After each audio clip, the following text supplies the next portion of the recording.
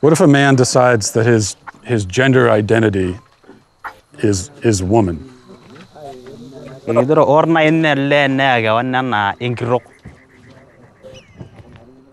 negol amu era era ore tormaasai netii menkirok ormaasai esiai a woman has its own duty and a man has its own duty and a lady cannot do the duty of a man and a man cannot do a duty of a woman.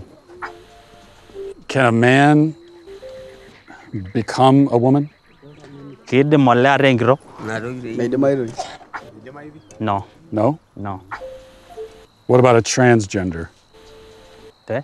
Transgender? idiro kidimayu nai pibelekenya ole metaa enkirok no. No. it will look like to if you want to become a lady but you're a man you have something wrong in Something your mind.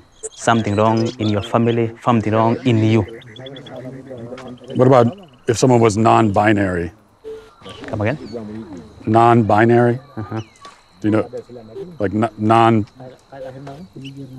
like s- someone is is Uh, you're not a woman you're not a man yeah, someone's like someone is is neither. They're something else. Is that idiro ama nai uh, kidimayu nai ole petii aaku entopis ngai pearaki kulo tung'anak he's saying we have never seen things like those for a man he has a penis for a woman he has a vagina so we know this is a lady this is a man what if it's a woman with a what if it's a woman with a penis? both. Is that Idiro, kidimayu nai pekeeta enkitok entabo Meidimayu mayiolo etiu people are laughing? Is that is that a dumb question?